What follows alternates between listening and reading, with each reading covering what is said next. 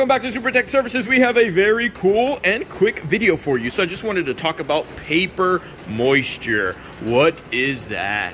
It is basically when there's a lot of moisture in the air, like when it is raining, like so. When it's raining, moisture gets into this paper and you can actually feel it. If I open this paper up and touch it, you can feel the moisture. Well, when it goes into a copier and that moisture is heated, you get a little bit of curling. Now this paper doesn't look too bad, but I've seen it a lot worse and it can curl really bad, especially with colored paper. So watch out, especially with colored paper.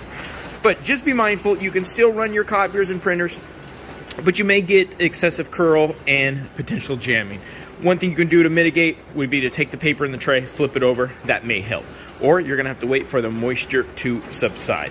Some copiers actually have built-in tray heaters that warm the paper up for this exact reason. So just wanted to give everybody a quick video today.